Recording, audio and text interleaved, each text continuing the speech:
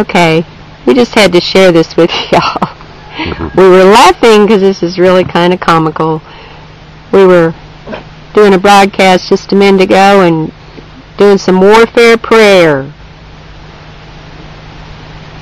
And I find it interesting. John came out here and saw this chemtrail. And it's like they had to turn around and go back, man. It was like they had to turn around and get out of here after that prayer. I said, be gone, devil. And they had to turn around and be gone. Hallelujah. Telling you, I just had to share this with you. You know what? Prayer's powerful, y'all. Amen. Pray.